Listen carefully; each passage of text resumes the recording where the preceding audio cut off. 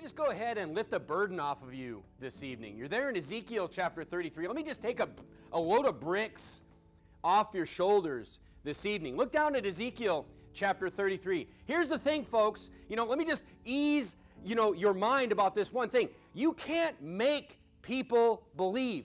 It is not our responsibility to force people to believe. Look down at Ezekiel chapter 33. Look at verse number 2. The Bible says, "Son of man, speak unto the children of thy people and say to them, say unto them, when I bring the sword upon a land, if the people of the land take a man of their coasts and set him for their watchman, if when he seeth the sword come upon the land, he blow the trumpet and warn the people, then whosoever heareth the sound of the trumpet and taketh not warning.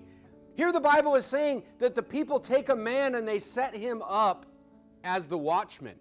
And this watchman, he sees danger coming and he blows the trumpet. You know, he, he's up there and he, doo doo, he blows that trumpet. He blows the trumpet and he warns the people.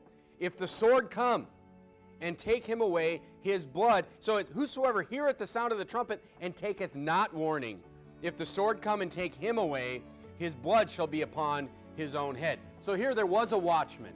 There was a watchman, and he did sound the trumpet. He did give a warning, and this person didn't listen. The Bible says that's not the responsibility of the watchman. But now look at verse number six. So look, folks, you go and you knock on the door. We see the, the terror coming. We see people that are lost. We see what is coming. We know what is coming. And we're out there and we are trying to warn them. We are trying to tell them. And many times we'll go out and no one will listen. No one will take heed to that warning. That is not on you. That is not on you. And remember, even if we could, look, if you could go out and you could force people and you could just argue with people and debate people about the Bible and you could get people to believe that way, you know, I wouldn't be so against it. But here's the thing it doesn't work, folks. It doesn't work. You, we are here to warn. We are here to warn. We are here to offer, you know, the word of the Lord to the people and the answer to that sword that is coming. And if people don't want to listen or don't want to heed, taketh not that warning, they taketh not that warning. That's not on you. That's not on you. But look at verse number six. The Bible says, But if the watchman seeth the sword come and blow not the trumpet. This is the real problem for the watchman right here. And the people be not warned. Look, they didn't know it was coming. If the sword come and take any person from among them, he is taken away in his iniquity. But, see, look, to the lost, to the lost, the result is the same. They're taken away in their iniquity. They're taken away in their iniquity. Because the lost, look, folks, the lost are going to be judged by their works, whether or not someone warns them or not. If they die in unbelief, they will be judged by their iniquity. People out there that you see every day, 99% of people that tell you, you know, I believe in works. I believe if I'm a good person, I'm going to go. The irony is, they're going to get what they want. They're going to be judged by their works. They will be at the great white throne judgment, and they will be judged, and they will be taken away in their iniquity.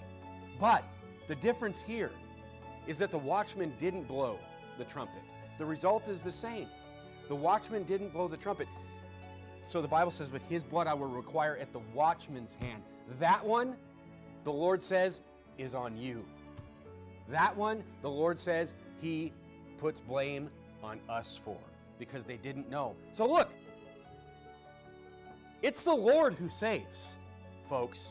It's through the belief in heart. It's only our job to present that truth, to warn. If people have heart issues and they don't want to hear and they don't want to, or they hear and they don't want to believe, that's a hard issue. That's God's wheelhouse, not ours to deal with. Now, look, let me just say this one last thing.